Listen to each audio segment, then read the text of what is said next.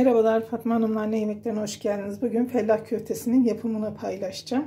Şimdi şu klasik su bardağı ile 2 su bardağı ince bulgurumu koydum.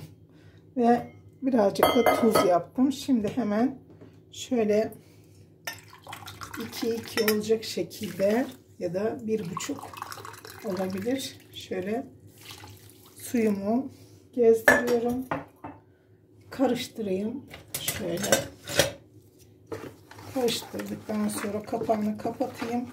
Biraz böyle şişmesini bekleyeyim. Kapağını kapatıyorum. Biraz şişsin. Evet şimdi artık şöyle bir bakıyorum. Bayağı olmuş. Şöyle bir karıştırayım. Evet.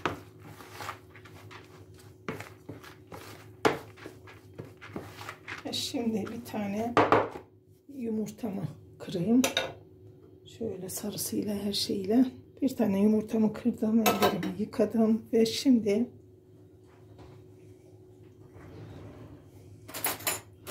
ilave edeceğim. Şu an şöyle bir iki kaşık, üç kaşık ilave edeyim. Eğer o istediğimiz kıvama gelmezse ona göre sevdiğiniz baharatlar varsa her birinden az az yapabilirsiniz. Şöyle abartmayacak şekilde karabiber ettim, toz biber ettim ve birazcık da kimyon ekiyorum. Kimyon gerçekten yakışıyor. İstiyorsanız kuru nane de yapabilirsiniz. Az bir şey de kuru nane yapayım. Yine kendi kuruttuğum doğal nanemden şöyle çok olmayacak şekilde onları da ilave ediyorum. Ve şimdi bunu ben bir yoğurayım önce. O yoğurma aşamasından sonra istediğimiz kıvama gelirse tuzu başta kattım biliyorsunuz. İstiyorsanız biraz da salça aslında ilave edilebilir.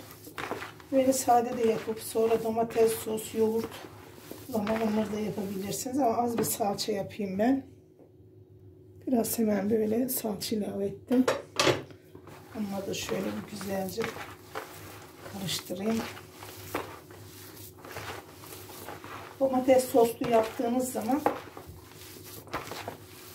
normal kıştan yaptığınız konserveler vardır. Onları kullanabilirsiniz. Artık bahara girdik zaten. Baharın ikinci ayını yarılayacağız. Domateslerde her şey var artık piyasada. Şimdi şöyle yoğurdum. Bir bakın. Şöyle. Bakın daha olmuyor. Demek ki bir iki kaşık daha ilave edeceğim. Şöyle bir kaşık edeyim ki kontrollü.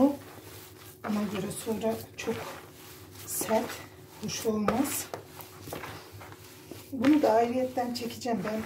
Bunun şeyini çekmemişim videosunu yeni fark ettim. Ramazan için neler yapabilirim diye düşünürken o kadar çok yapıyoruz, yiyoruz ama çekmeyi unutmuşum. Onu da ayrıyetten çekerim. Şimdilik bunu bir fikir olarak çekeyim. Bakın. Şöyle hemen bir yemek kaşığı daha ilave ettim. Yaklaşık şu an 4 yemek kaşığı oldu.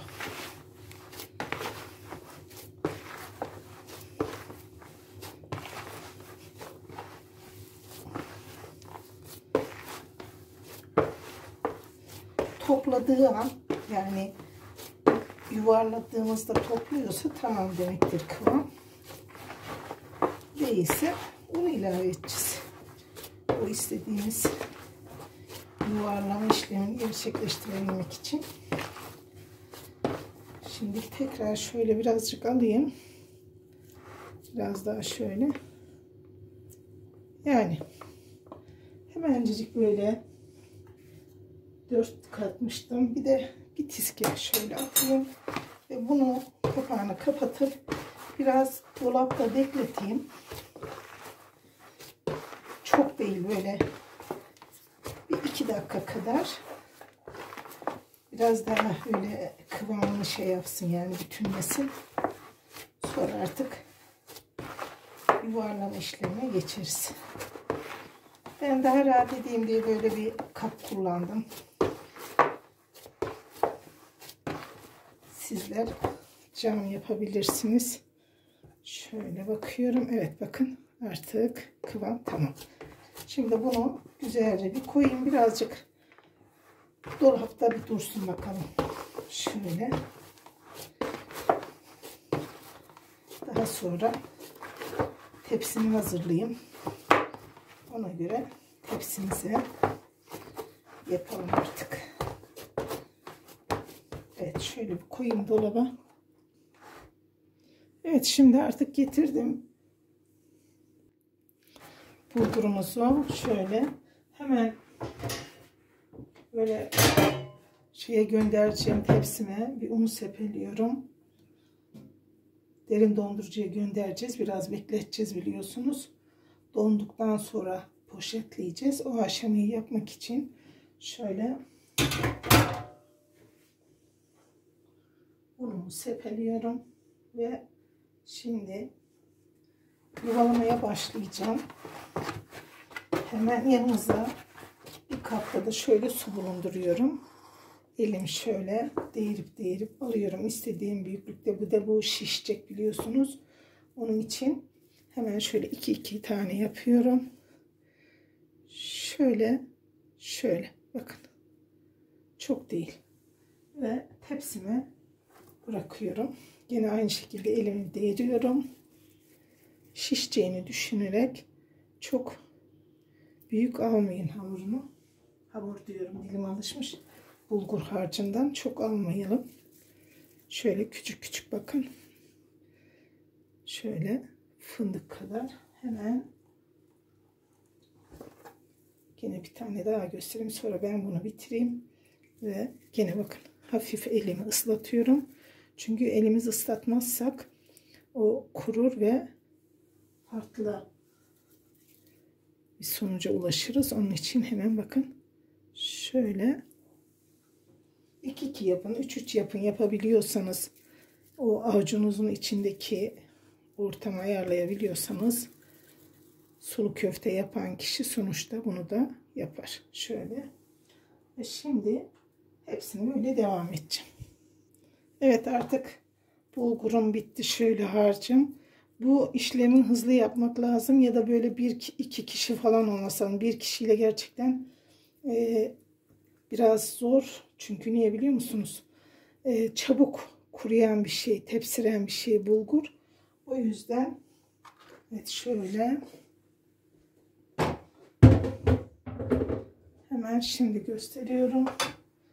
Şöyle biraz daha üstüne şey yapayım un ve bunları güzelce şimdi gönderiyorum buzluğa. Şöyle bir yarım saat kadar beklesin 45 dakika kadar. Böyle bakın. Şöyle sallayabilirsiniz de oldukları yerde. Şöyle hemen gönderiyorum ve biraz donduktan sonra bunları poşetleyeceğiz inşallah. Evet şöyle artık bakıyorum. Bayağı bir güzel donmuşlar. Hemen şöyle kendilerini salmadan poşetleyeceğim. Haşlı arkada ona göre haşlayacağız çok. Haşlamadan şöyle hemen dolduralım. allah Teala inşallah hepimize de yapmayı nasip eder diyorum. Ramazan için yapabileceğimiz çok güzel şeyler var. İşte onları böyle paylaşmak istedim fikir olsun diye. Oruçta dediğim gibi işte Kur'an okuyoruz. Bir de oruç olunca böyle biraz zorlanıyoruz ya. Hemen hazırımıza gelecek. Açıp kullanı kullanı vereceğiz. Çok da güzel, lezzetli bir tarif. Bunları içine katayım sonra. Şimdi şöyle yapayım. Ve havalarını aldırarak şöyle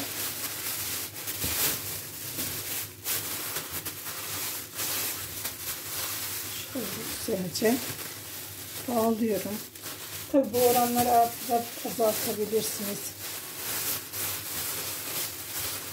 Şöyle biraz sonra belki bir daha yaparım yani birkaç poşet olacak şekilde. Şöyle bunu size göstermek için yaptım. allah Teala öncelikle hepimize yapmayı ve yemeği nasip etsin. İnşallah sağlıklı bir şekilde Ramazan'a kavuşup oruçlarımızı tutmayı kabul olanlardan eylesin, nasip etsin diyorum. Sevgiyle kalın kanalımıza abone olmayı, beğeni, yorumlar yapmayı unutmayın.